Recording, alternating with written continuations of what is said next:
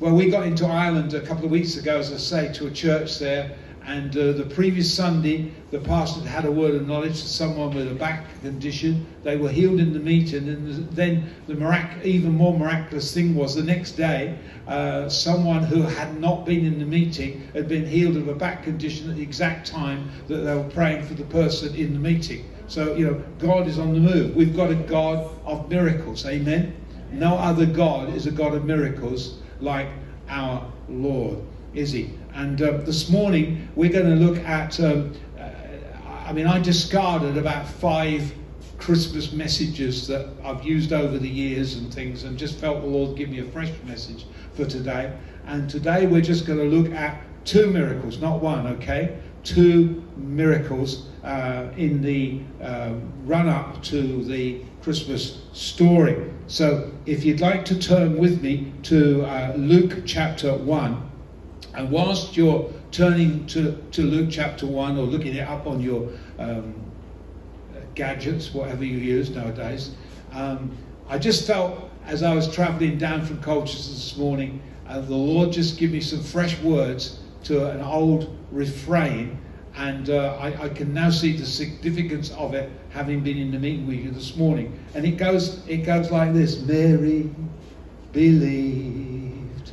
Mary believed that all things are possible. Mary believed. Mary believed. Mary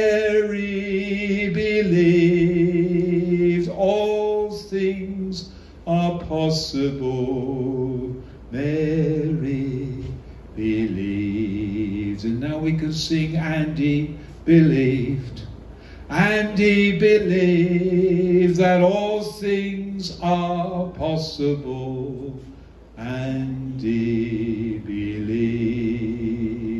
Help us believe.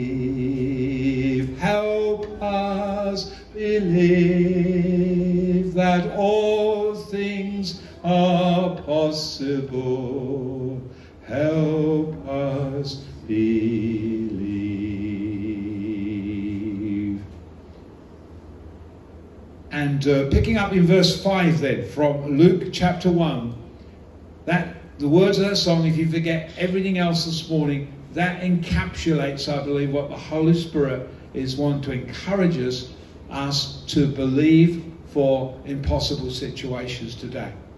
And in verse 5 of Luke chapter 1, and I'm using the New International Version, we read this. At the time of Herod, king of Judea, there was a priest named Zachariah who belonged to the priestly division of Abijah. His wife Elizabeth was also a descendant of Aaron. Both of them were upright in the sight of God, observing all the Lord's commandments and regulations blamelessly.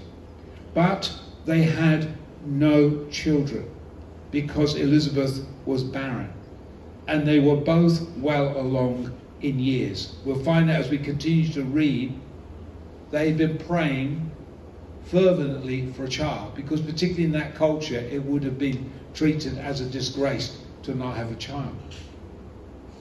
Once, when Zachariah's division was on duty and he was serving as priest before God, he was chosen by Lot, according to the custom of the priesthood, to be the one to go into the temple of the Lord and burn the incense.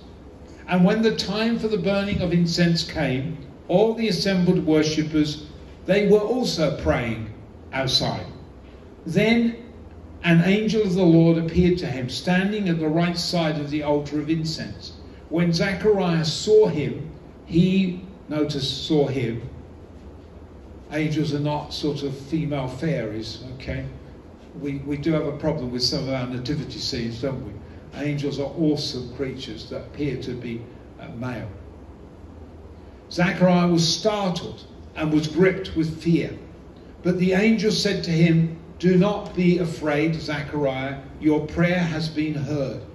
Your wife Elizabeth will bear you a son, and you are to give him the name John. Wow. Hmm. Fits in with what we've just been hearing, doesn't it? Uh, of that testimony. He will be a joy and a delight to you, and many will rejoice because of his birth.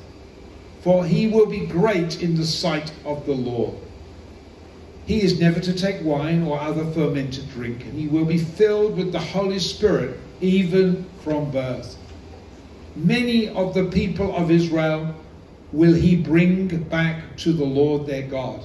And he will go on before the Lord in the spirit and power of Elijah to turn the hearts of the fathers to their children and the disobedient to the wisdom of the righteous, to make ready a people prepared for the Lord.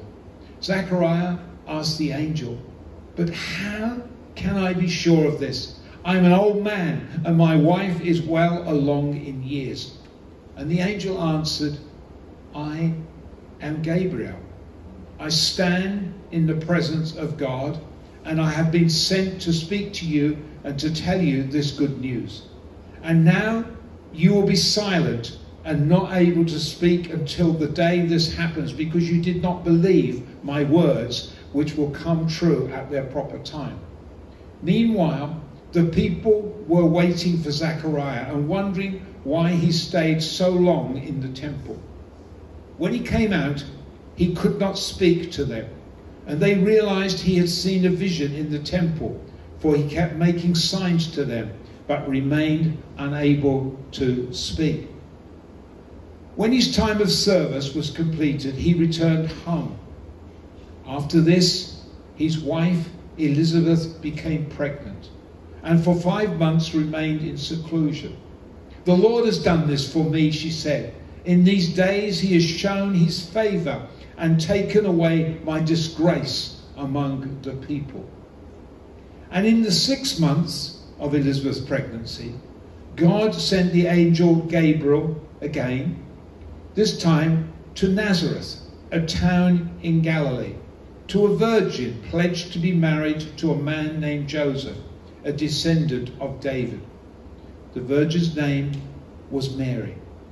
The angel went to her and said, Greetings you who are highly favored, the Lord is with you. But Mary was greatly troubled at these words and wondered what kind of greeting this might be. But the angel said to her, Do not be afraid, Mary, you have found favor with God.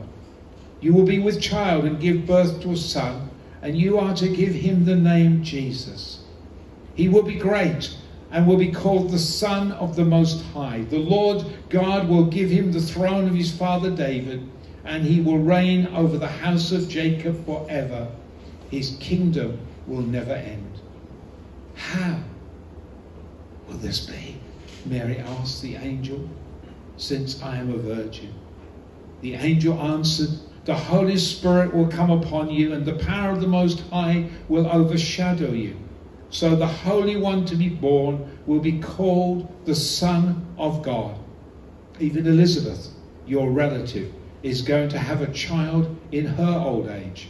And she who has said, was said to be barren is in her sixth month.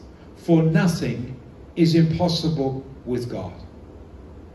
I am the Lord's servant, Mary answered. May it be to me as you have said. Then the angel left her.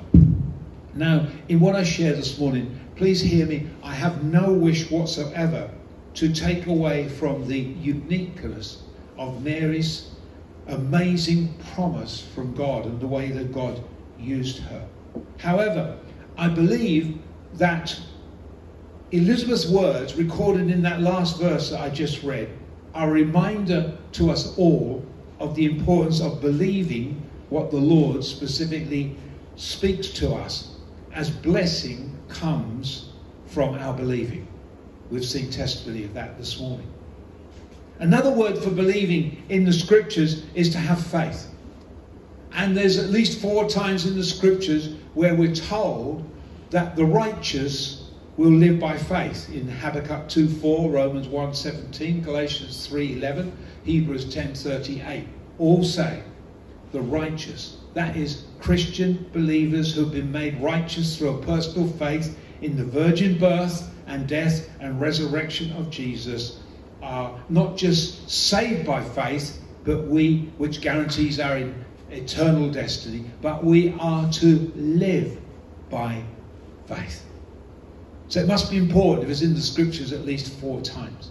We, we are to live believing in what God says to us and not just reliant on our physical senses. You know, our five physical senses what we see, touch, hear, smell, and taste. We're not just to be dependent on them alone because, as Deuteronomy 8 3 says, mankind is just not intended to live just by bread, just by natural food alone, but by every word that comes from the mouth of God, by every spoken word of God. And when Jesus quoted that verse, some of you will remember from Deuteronomy, and he used it against the devil during his time of temptation in the Judean wilderness. The word translated in Matthew 4 4 as word is the Greek word rhema, meaning a specific, relevant spoken word to you for your situation. As believers, we are to live by the precepts, principles, and promises that are written in God's word, in the scriptures but not just but we're also to live believing in and for the specific things which the Lord has specifically spoken to us personally, and also, of course, the things that He speaks to you corporately as a church.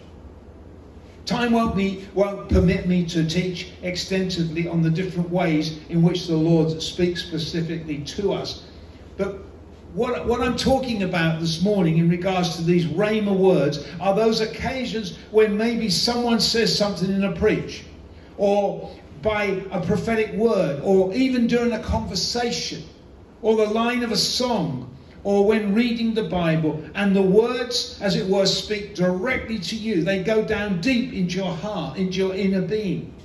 And a bit like how we've just read, Elizabeth's baby leapt in her womb. It's as though something leaps inside of you. You know and you believe it was God that has just spoken to you.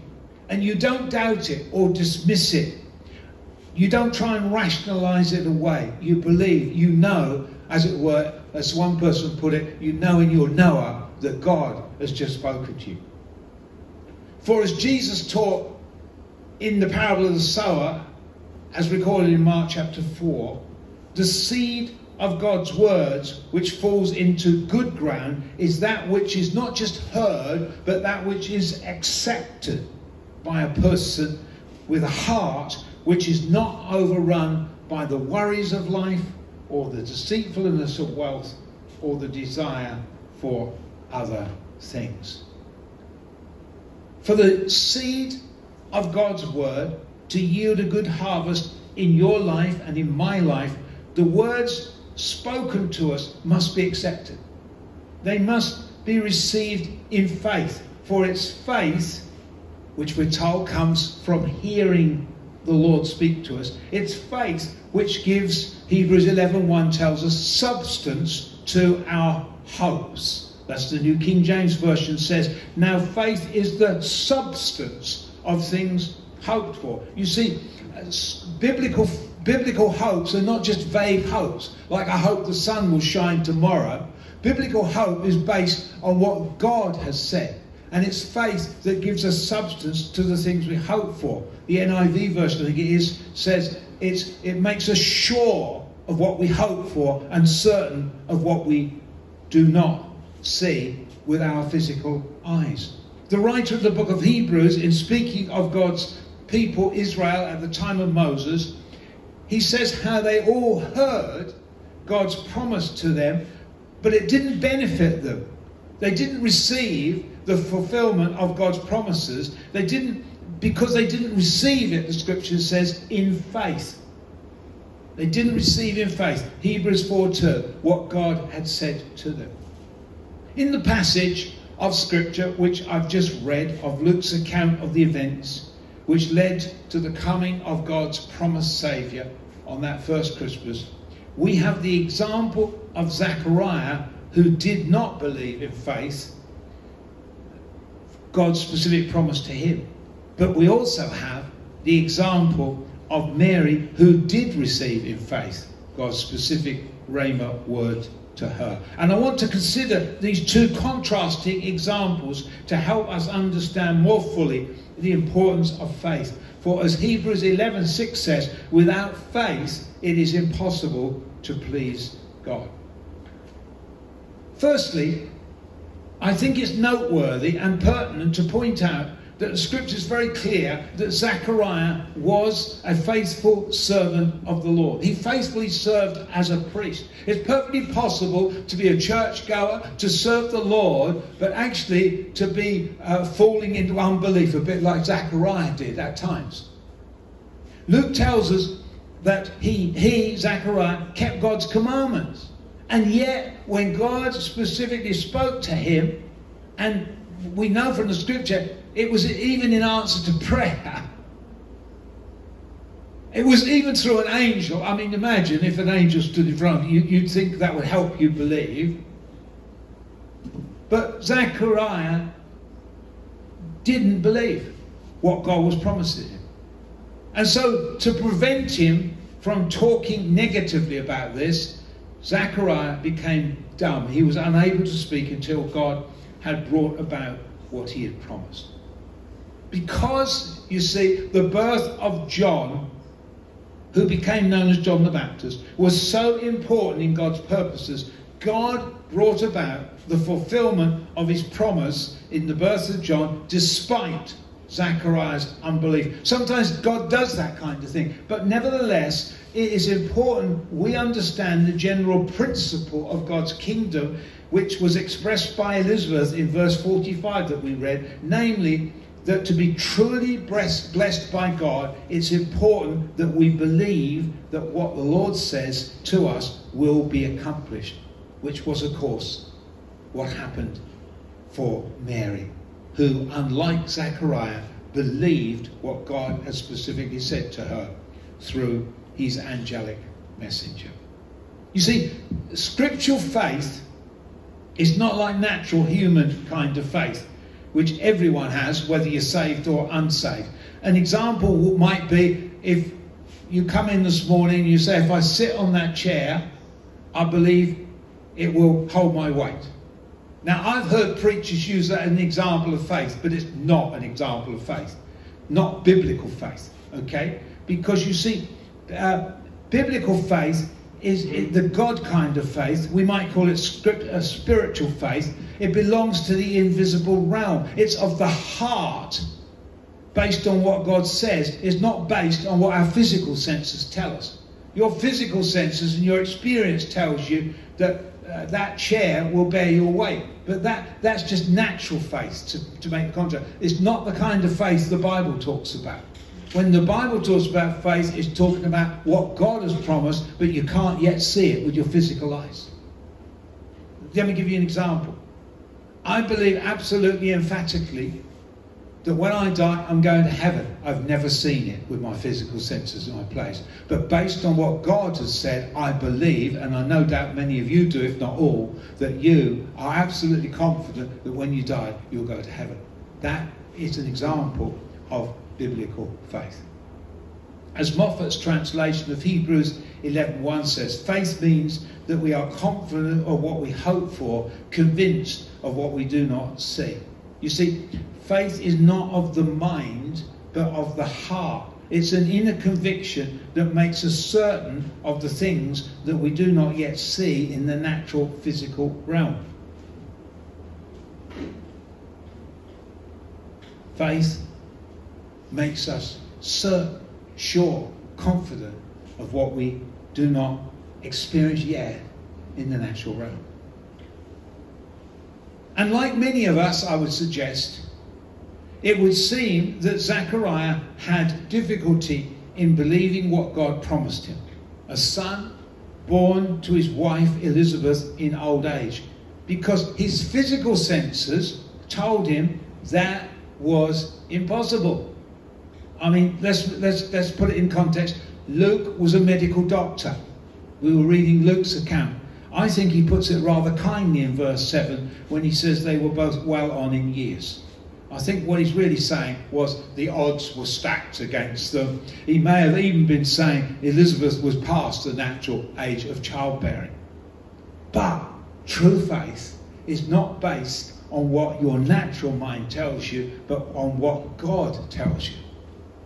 Zechariah, from the scriptures, wasn't the only one who found it difficult to believe without seeing some evidence in the visible realm. In a similar way, you might remember one of Jesus' disciples, namely Thomas's faith, that also seemed to be based on physical evidence. Remember how after the resurrection, when the disciples told Thomas that they'd seen the resurrected Lord, his response, recorded in John chapter 20, was, Unless I see the nail marks in his hands, unless I put my finger where the nails were, I will not believe it. He was saying, Unless I see and touch. His believing was based on his physical senses of sight and touch. And although Jesus acceded to his request, he let him see and he let him touch. Christ's words to him reveal how Jesus wanted him and indeed us to have true faith. For John 20 27 records how Jesus urged Thomas to stop doubting and believe. The New King James expresses it even more clearly. It says, Do not be unbelieving, but believing. And the old authorized version says, Be not faithless, but believing. To have true faith I would suggest to you, based on scripture, is important. Thomas was trying to live solely in the natural realm, which is not pleasing to God. For, as I said earlier, Hebrews 11:6 says, without faith, true faith, based on what God says, it's impossible to please God. And thus, Jesus went on to say to Thomas, recorded in John 20, because you've seen me, you've believed. But blessed are those who have not seen with their physical eyes and yet have still believed. Friends, if you believe in the Lord here today, you are blessed because you believe, but you haven't seen with your natural senses, but you believe what the scripture reveals. Amen? Thomas trusted in his physical senses. His so called faith was, was a worldly, natural faith and not the true kind of faith that the Lord wants us to live by. In contrast to Thomas and Zachariah, however, Mary showed clear evidence that she truly had faith in what God promised her. But you might be thinking, but hang on a minute, Roy. She asked, How will it come about as I am a virgin? But I do not believe, when you dig into scripture, that that was a sign of unbelief. It was more her wondering just how is God going to bring this about? and maybe, just maybe, the one or two here this morning, God has spoken specific things to you, and you too may wonder, but how can that possibly happen? Well, the answer friends, is similar to the answer given to Mary, namely, from verse 35 of Luke, the power of the Most High through the activity of the Holy Spirit will overshadow your impossible situation. For, as verse 37 says, nothing is impossible with God. A literal translation of the Greek text is every spoken word of God has power. If God has said it, He will do it. He'll bring it about, not necessarily in the way we expect or the timing we might hope for, but He will bring it about. Like Mary, who believed what God said over what her mind and circumstances told her, Paul in his letter to the church in Rome, cites Abraham as an example to us of someone who showed true faith in believing God for the promise made to him. Genesis 15, verse 6 says that Abraham believed the Lord and he credited it to him as righteousness. However, although Abraham initially believed God's promise that his offspring would be as numerous as the stars in the sky, we're told that after 10 years without his wife bearing him a child, he gave in to the battle in his mind. That's often where the battle is. We know something in our heart, but our mind is telling us something different.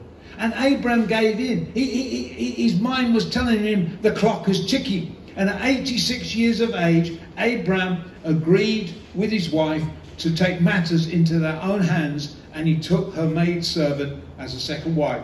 And a son was born through her to Abraham called Ishmael.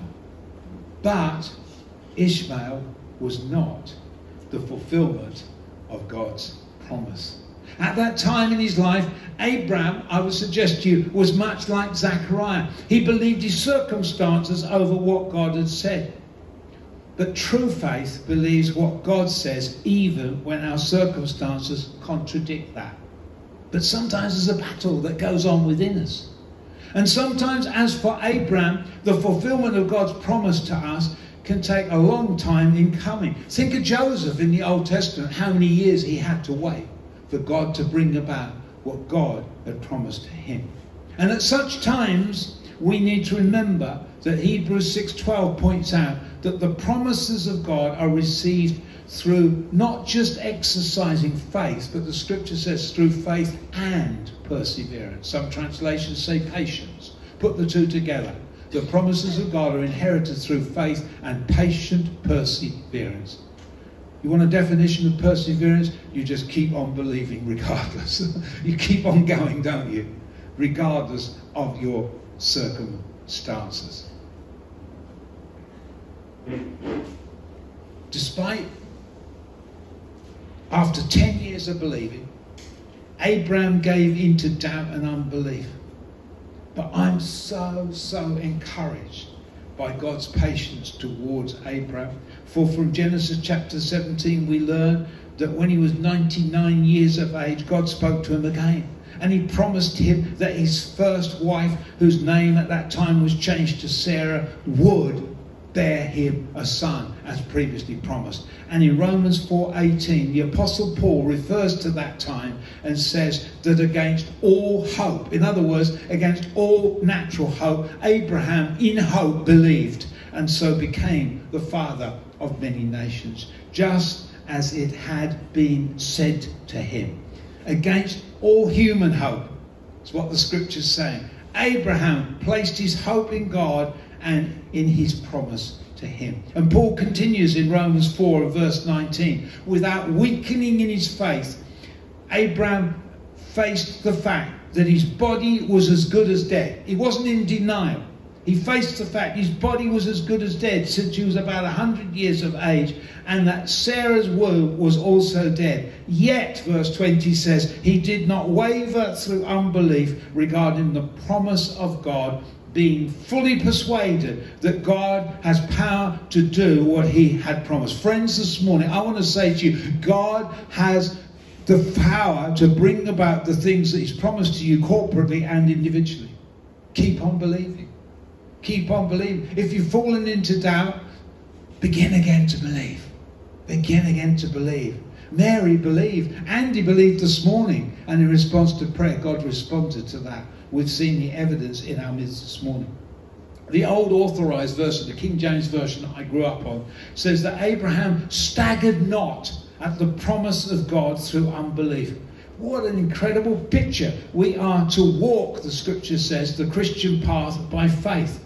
It's doubt and unbelief that will cause us to stagger and even fall in our believing. But Abraham, in the face of impossible circumstances, he kept walking the path of faith, believing what God had said. And just as Abraham received his promised blessing through believing God's word to him, so in a similar way, through exercising faith, we receive God's promised blessings to us. Lord, help us believe. Help us believe. Now, to return to Mary and her example to us. as we've already observed, it is so important that we receive and respond, how we respond to what God says to us. For verse 38 of Luke chapter 1 that we read together, Mary's response was, I am the Lord's servant. May it be to me just as you've said. Don't know how you're going to bring it about.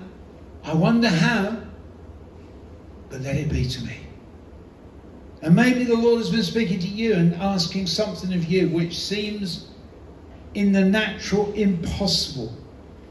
Well, as we approach another Christmas, will your response be one of unbelief like Zachariah or like Mary?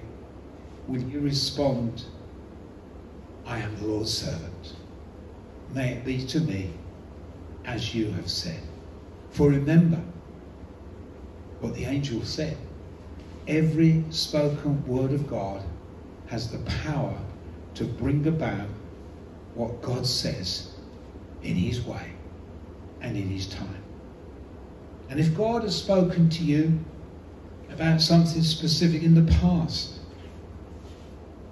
that is still to come about, and maybe you've stumbled in persevering in your believing, then today I want to encourage you begin to believe again as Abraham did.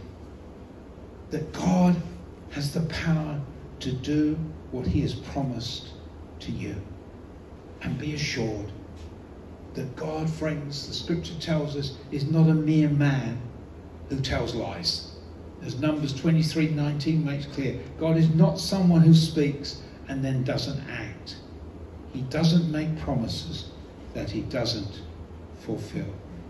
As the popular modern Christian song says, He is waymaker, promise keeper, miracle worker, light in the darkness. My God, that is who He is. And He is here, moving in this place. I worship Him. I worship Him. He is here, imparting faith today. Let's worship Him. Let's worship Him. He is waymaker, promise keeper, miracle worker, light in the darkness. My God, that is who you are. That is who you are. That is who you are. Lord, we thank you this morning,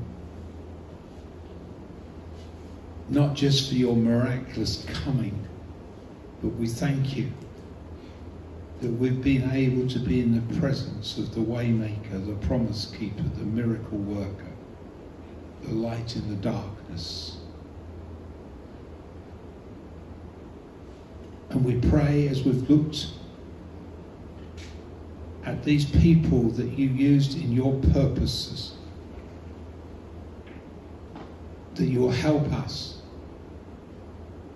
to learn from the mistakes of Zechariah, to learn from the state mistakes of Abraham, to learn from the doubting of Thomas, and like Mary, even with what seems impossible, that you'll help us to believe that what you have promised, you will bring about. So I pray for any here, particularly today, where you've spoken to them about specific situations, where perhaps the time, the years have rolled by and it doesn't seem to be coming to pass. I pray again you will rekindle this Christmas time fresh faith that you are able to do exceedingly above and beyond what we dare ask or imagine. And I pray for your blessing upon everyone that's part of Oasis Community Church this Christmas time. And as they move into a new year, I pray for fresh faith to rise. That you still want to use them as lights in the darkness in this town. Amen.